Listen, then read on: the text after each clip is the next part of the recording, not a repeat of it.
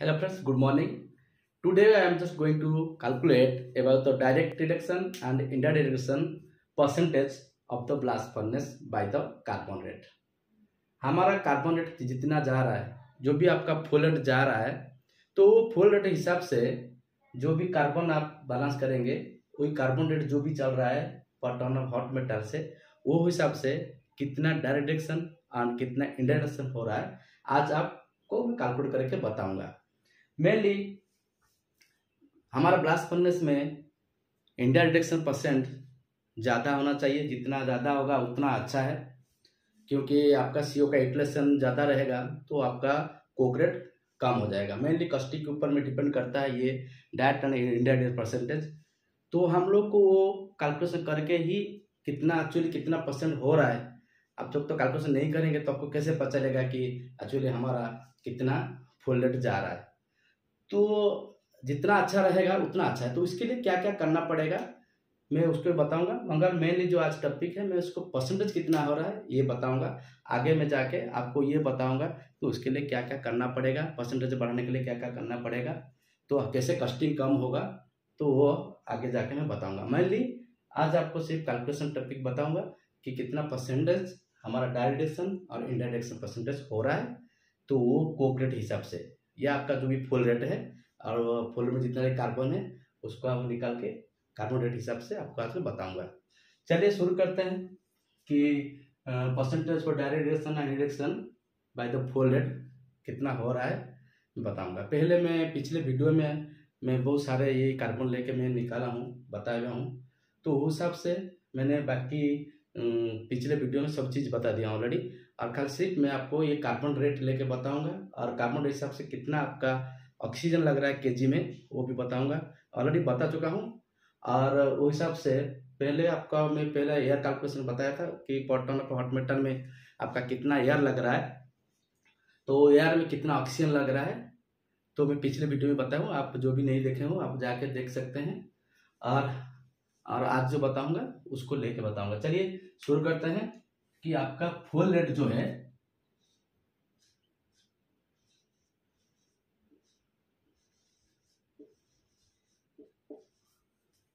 सोचिए कि 550 जा रहा है K G per ton of hot metal तो इसमें कार्बन रेट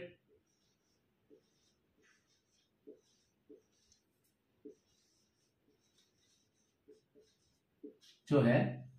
मैं पिछले वीडियो में निकाला हूँ आप भी निकाल सकते हैं कार्बन बैलेंस करके at four hundred twenty five K G ton of hot metal और आपका एआर जो है AR rate per ton of में मैंने फिफ्टी हंड्रेड लिया हूँ नॉर्मल मीटर क्यू में और टन ऑफ हॉट मेटल और उसमें ऑक्सीजन रेट जो है पंद्रह सौ से वॉल्यूम हिसाब से पहले आपको निकाल के बता था बताया था वो है थ्री हंड्रेड फिफ्टीन आप ट्वेंटी वन परसेंट से निकाल सकते हैं नॉर्मल मेटल ट्यूब और टॉन ऑफ हॉट मेटल के जी में निकालेंगे तो कितना होगा oxygen rate in K G कैसे निकालेंगे पहले मैं पिछले वीडियो में निकाला आप देख सकते हैं मैं जितना शॉर्ट करके आपको बताऊंगा बाकी आप लोग पहले वीडियो में तो कर चुका हूँ आप वो हिसाब से निकाल सकते हैं तो वो है four hundred fifty K G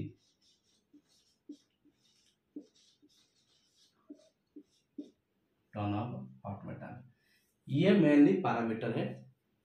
ये परसेंटेज ऑफ डायरेक्शन और इंडक्शन निकालने के लिए ये सबसे ये जो पांच पॉइंट है ये बहुत इंपॉर्टेंट है आप उसको अच्छा से निकाल दीजिएगा आपका ऑक्सीजन रेट फिफ्टी फिफ्टीन हिसाब से निकालेंगे और ऑक्सीजन रेट के जी करेंगे तो उसको ट्वेंटी टू पॉइंट फोर हिसाब से लेके डिवाइड करेंगे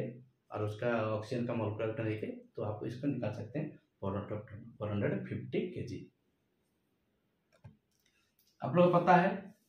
कि ऑक्सीजन जो है मोलकुलर वेट जो है twenty two K G of oxygen carbon need carbon need चौबीस K G for four fifty K ji oxygen four fifty K G of oxygen carbon need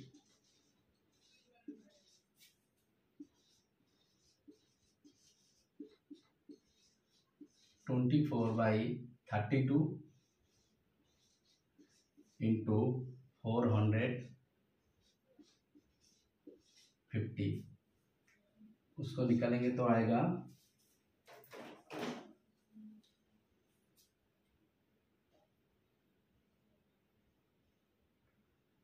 four hundred fifty into twenty four divided by thirty two three thirty seven point five approximately three hundred thirty eight K G हो गया three hundred thirty eight K G twenty two point five thirty two into four fifty कल two three hundred आप calculation करेंगे तो three hundred thirty eight K जी तो वो जो निकला थ्री हंड्रेड थर्टी एट ये require for direct direction carbon require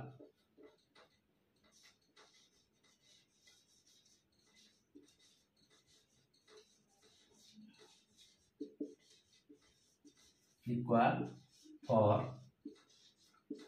direct equal to three hundred thirty eight K G ये आपका रहा तो इतना कार्बन चाहिए हमको डायरेक्टेशन के लिए कार्बन इक्वल फॉर डायरेक्टेशन फॉर नो सॉरी पर indirection three hundred thirty eight K G not direct not direction indirect reduction three hundred thirty eight K G तो 450 फिफ्टी के जी हिसाब से हमको अभी चाहिए कितना 338 हंड्रेड के जी तो उतना चाहिए हमको इंडिया डेसल के लिए तो फिर डायर डेसल कितना रहेगा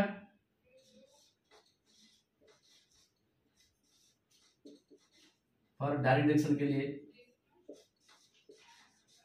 और डायरेक्शन और डायरेक्शन के लिए कार्बोनिन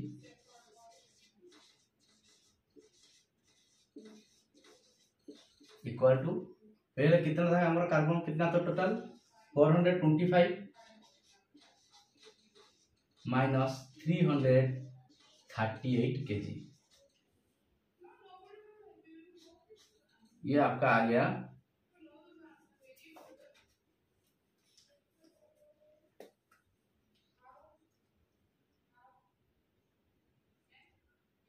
four hundred twenty five minus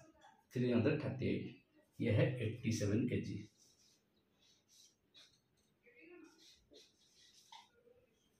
यह है एट्टी सेवन के जी यह आपका एट्टी सेवन के जी आपको चाहिए डायरेक्ट डेसिम के लिए तो इंडिया के लिए कितना चाहिए था three hundred thirty eight K जी तो आप लोग को सबको पता है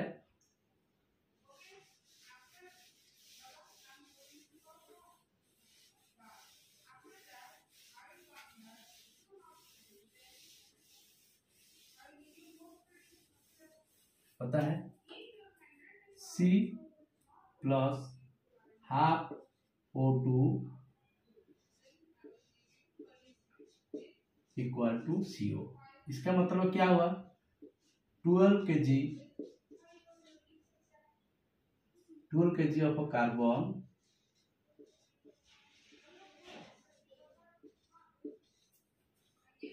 oxygen need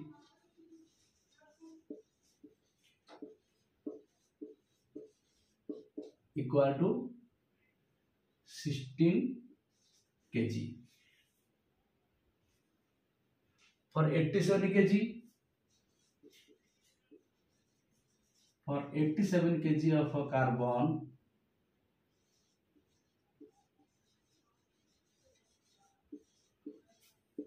oxygen need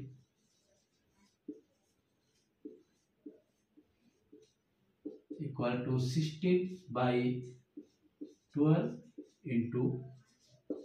87.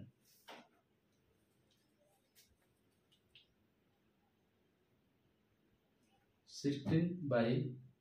sixteen into eighty-seven divided by twelve. ये हो गया one hundred sixteen one hundred sixteen K G option is 116 kg.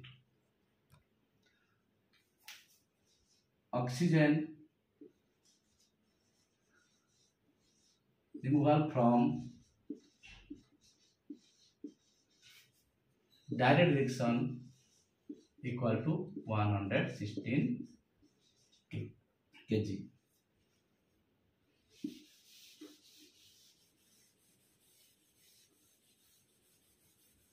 116 kg और 87 के जी आपको मैं फिर बता दे रहा हूँ 87 के जी आपको कार्बन ऑक्सीजन आपको 160 के जी वो जो हुआ वो है oxygen removal from the direct reduction तो आपको अभी आप सबको पता है कि थाउजेंड हाँ, के लिए थाउजेंड के लिए हमारा जो भी वन टन के लिए जो भी हमारा एफ रहता है नाइन्टी फोर परसेंट तो उसको निकालेंगे तो nine hundred forty K G के लिए कितना ऑक्सीजन रिमूव होता है मैं वो बता रहा हूँ for nine hundred forty K G of एफी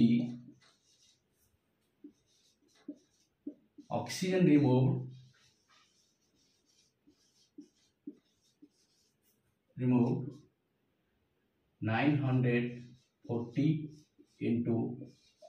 forty eight divided by one hundred twelve उसको निकालिए ये आपका आ गया nine hundred forty into forty eight divided by one hundred twelve यह है four hundred two four hundred two point eight ये आपका आ गया four hundred two point eight means four approximately four point four hundred K G ये आपका thousand के लिए ऑक्सीजन रिमूव होता है ठीक है तो आप नाइनटी आपको nine hundred forty K G F के लिए ऑक्सीजन रिमूवल हुआ नाइन हंड्रेड फोर्टी जो है नाइन्टी फोर परसेंट हिसाब से जो एफ है वो हिसाब से निकाला हूँ और फोर्टी एट जो है ऑक्सीजन का जो मोलकुलर वेट है उसका एफ टू ओ थ्री जो है ना ओ थ्री मतलब sixteen two three forty eight और टू एफ मतलब वन हंड्रेड ट्वेल्व तो ये आपका आ गया फोर हंड्रेड थ्री के जी तो अभी percentage of डायरेडेशन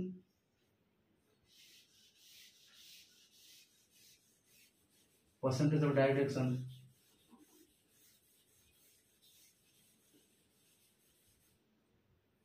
percentage of direct deduction equal to देखिए पहले हमारा कितना ऑक्सीजन रिमूव हुआ था पहले oxygen removal from the direction one hundred sixteen हुआ था 116 divided by total oxygen removal from the 940 ये हो गया 403 इनटू परसेंटेज हो गया 100 तो ये आपका आएगा 116 इनटू 100 डिवाइडेड बाय 403 यह अब आया twenty eight point seven approximately twenty nine percent ये आपका आ गया direct percentage of direct relation तो बाकी जो बचा हंड्रेड से वो आपका हो गया इंडायरेक्शनल इंडायरेक्ट कितना होगा hundred minus twenty nine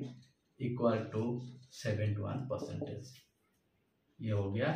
indirect deduction तो ये कोकरेट हिसाब से मैंने जो भी कोकरेट आपका कार्बन रेट दिया था फोर हंड्रेड ट्वेंटी फाइव हिसाब से